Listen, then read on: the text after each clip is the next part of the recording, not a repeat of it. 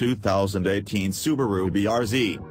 Subaru has added a new flagship TS variant to its BRZ as part of a model year 2018 refresh that also sees range-wide upgrades and a price rise of $1,000 for the rear-drive sports car.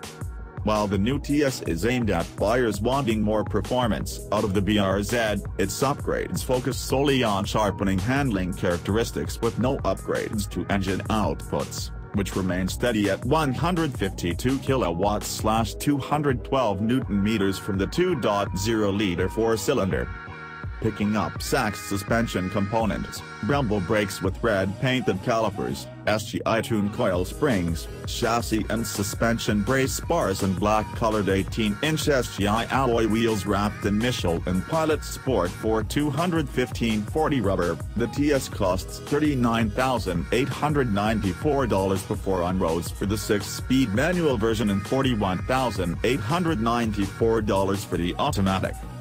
Exterior trim that identifies the TS includes a new front bumper and grille, black rear spoiler, mirror housings and shark's fin antenna, and STI side trim, as well as TS and STI badging front and rear.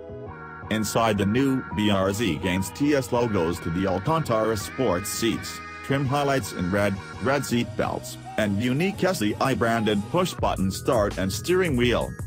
Prices across the BRZ range are also up $1,000, with the cheapest Subaru sports car now $33,990 and automatic versions sitting $2,000 upstream.